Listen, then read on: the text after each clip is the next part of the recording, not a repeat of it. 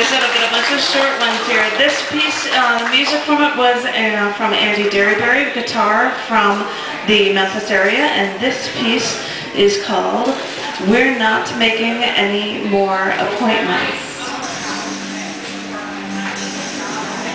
I never thought that your mom was really sick. It never occurred to me that your mother was dying.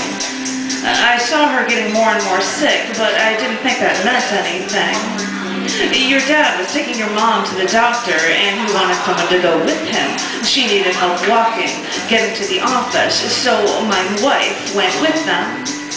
They went to the doctor and they checked on your mother and they said, we're not making any more appointments.